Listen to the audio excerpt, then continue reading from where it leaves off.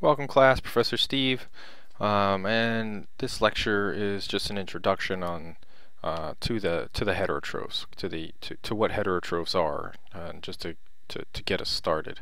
Um, and I sort of loosely uh, group the, the the term heterotrophs with secondary production um, and that's because primary production, as we've gone over, is the fixation of carbon, so taking the organic carbon and packaging it into, in, in, into taking inorganic carbon and packaging it into organic carbon so that other organisms can use it. And so that's the primary packaging of carbon, and that's what we call it primary production. Um, secondary production then is sort of the first level of other organisms, the heterotrophs, consuming that primary production. Um, so there's it goes a little bit beyond what we call secondary production. I'll get that to the minute in a minute. But but so loosely, I just grew group heterotrophic activity with secondary production.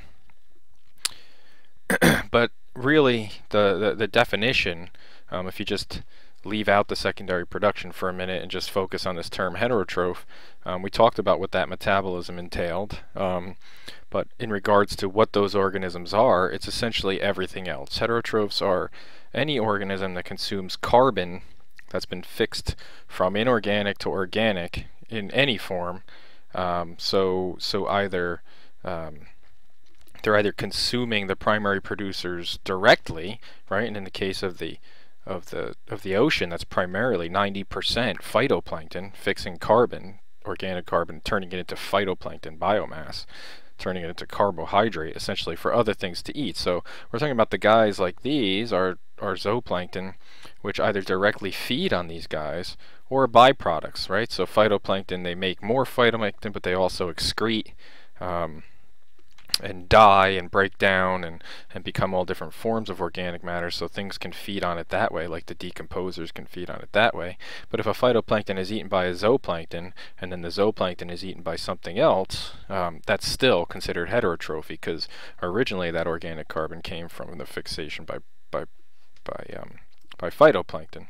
And so essentially we just lump these guys all together and I, I like to call them just the consumers right? They're not the producers. They're not primarily producing um, but they're any everything else. If you're not an autotroph um, you're a consumer. If you're not primary producing you're a secondary producer or a, just a consumer so just, uh, I, like to recap for each of these, um, sort of how we classify things before I introduce new ways of classifying things. We said that all organisms can be broken down by cell type, right? And then you're either a prokaryote or a eukaryote. And then the prokaryotes and eukaryotes can both be broken down by metabolism.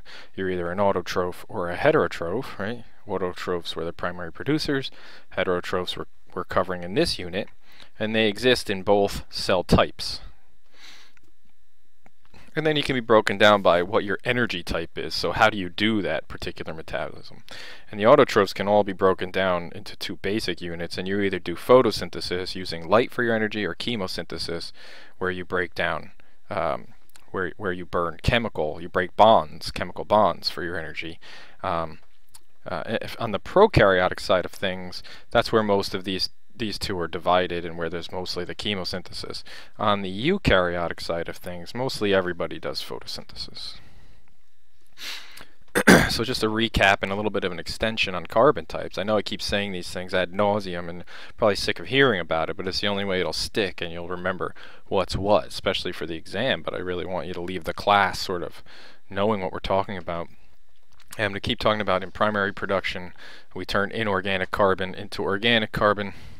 Um, and if I'm using a molecule to designate that, I'm primarily talking about CO2 as the inorganic carbon. There are other kinds. There's carbonate, uh, carbonic acid, carbonic acid, bicarbonate, and a couple of others, and they're all part of the cycle for inorganic carbon. But primarily the one we're concerned with is CO2, um, and that's the most abundant one.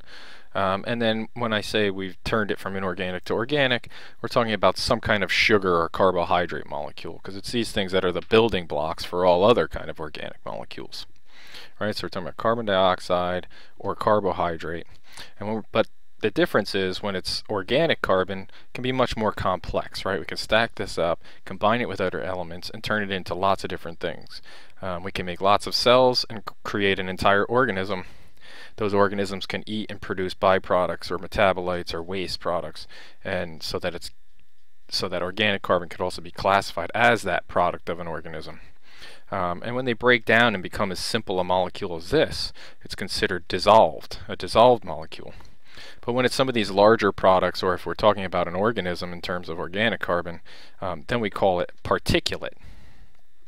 So anything that's not dissolved, if we're not talking about a dissolved single molecule of organic carbon um, or a single compound, then it's particulate, so meaning particle. Essentially think of it as I can trap this on a filter, I can catch it on a filter. If it's dissolved, it'll go through the filter. Um, and all CO2 is considered dissolved, whether it's dissolved in the atmosphere or dissolved in the seawater. It's considered dissolved inorganic carbon. And I usually I can sometimes designate those as DIC, dissolved inorganic carbon, um, or DOC, dissolved organic carbon. And if we're talking about particulate, I'll des sometimes designate it as POC, particulate organic carbon. Okay, so let's use the carbon and fixation of carbon in organic carbon into organic carbon. Right, here's two different ways of stating the same thing, which is what the autotrophs do. Um, and those are the primary producers. And we'll use this to segue into sort of um, how this fits into a food web and, and feeds into the heterotrophic part of the food chain. So we designate these kinds of things, or, or the most basic way to designate this interaction is through a trophic pyramid, what we call a tro uh, Eltonian trophic pyramid.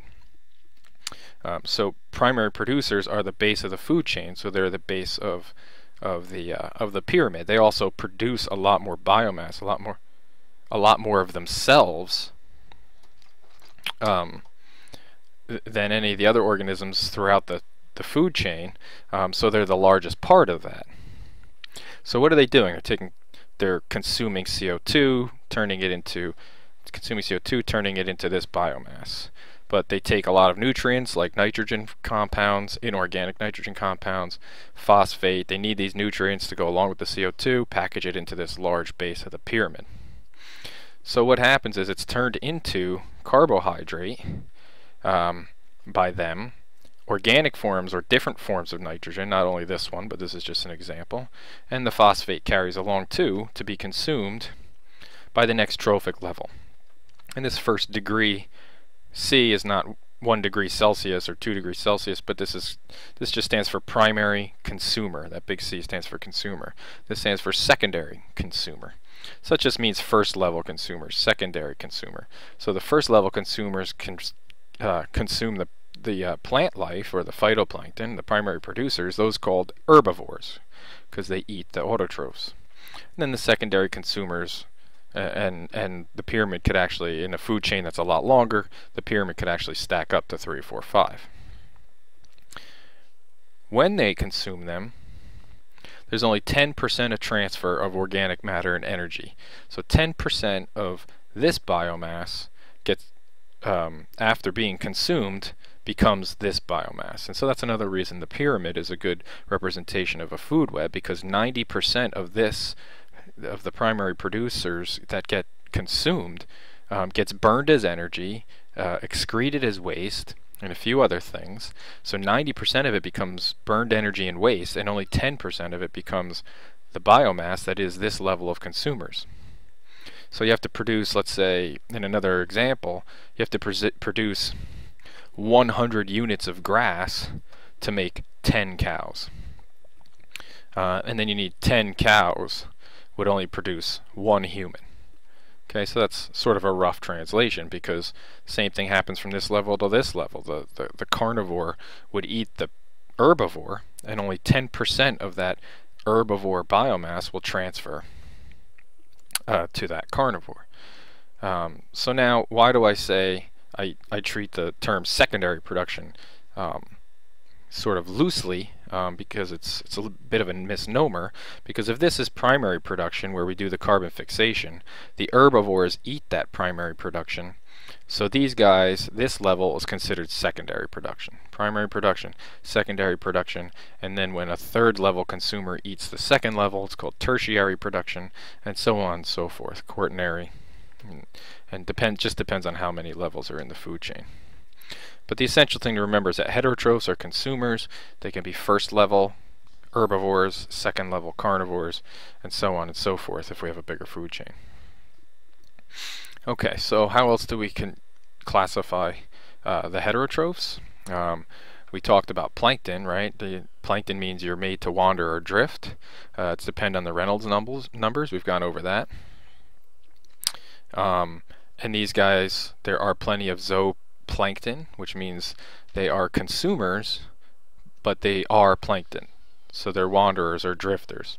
But there's also nekton. So these guys are the swimmers. So once you get large enough to overcome your your your inertia becomes large enough to overcome your environment, you're a swimmer. You're considered nekton.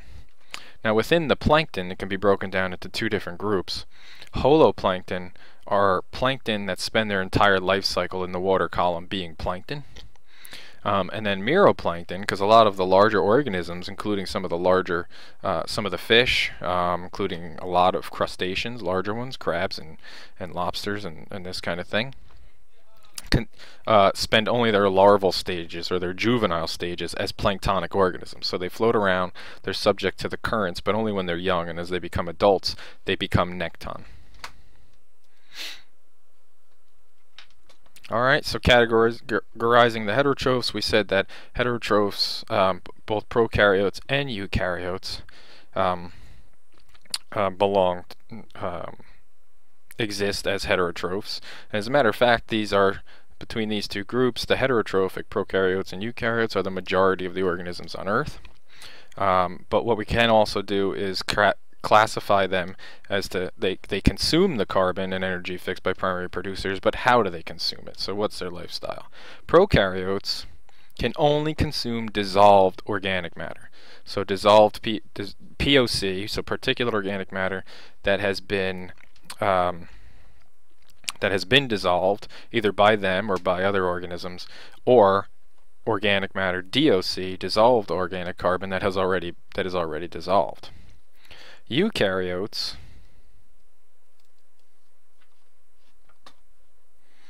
eukaryotes can be broken down into um, their different level consumers, right? The primary consumers, first degree consumer, those are the herbivores, as these guys right here. And as you go up, you have secondary consumers, so they're herbivore consumers, which means the secondary eat the eat the um, the herbivores tertiary consumers, usually the top predators. If you have a short food chain like this, it's only three levels, then that second level is the top consumer.